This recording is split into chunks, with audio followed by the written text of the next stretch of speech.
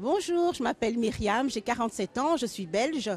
Et euh, la question qui m'a été posée, si j'étais MP euh, au niveau de l'Union européenne, qu'est-ce que je ferais? Ben, Je donnerais un peu plus de pouvoir d'achat aux habitants de chaque pays membre parce que euh, le fait d'y adhérer ne devrait pas nous, rendre, nous diminuer, mais nous rendre un peu plus forts. Et aujourd'hui, ce n'est pas le cas.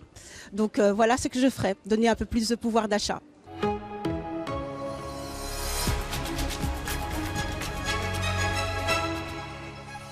I want uh, the fiscal policy pursued in the European Union to be more liberal, to let governments um, be bolder in making larger uh, public investments. Otherwise, such countries as Latvia will remain in the backyard and will never achieve the economic level of the old European democracies. Uh, also, I, I, believe it's necessary to uh, put a final stop to uh, austerity policy, which pushed ma many people, millions of uh, Europeans, all over the European continent to poverty and to economic immigration.